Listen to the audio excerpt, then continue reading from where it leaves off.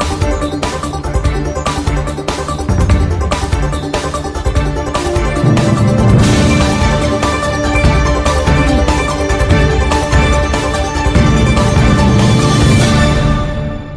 सीकर ज़िले के रिंगस कस्बे में आज भामाशाह द्वारा आमजन को गर्मी में राहत देने के लिए ठंडे पानी का वाटर कूलर भेंट किया गया। वाटर कूलर को कस्बे के ब्राह्मण धर्मशाला परिसर में लगाया गया, जिससे कि आने जाने वाले राहगीरों को ठंडे पानी की सुविधा मिल सके। ब्राह्मण महासभा समिति के संरक्षक भामाशाह वैद्य शंभु दया शर्मा ने विधिवत पूजा अर्चना के बाद वाटर कूलर का उद्घाटन किया। इस दौरान रिंगस नगर उपाध्यक्ष रमेश शर्मा, ब्राह्मण महासभा समिति अध्यक्ष गोविंद डाकवाल, पूर्व पार्षद विष्णु गंगावत सहित कस्बे के अनेक लोग मौजूद रहे। ब्राह्मण महासभा समिति रिंगस अध्यक्ष गोविंद शर्मा द्वारा भामाशाह का साफा व दुपट्टा पहनाकर सम्मान भी किया गया।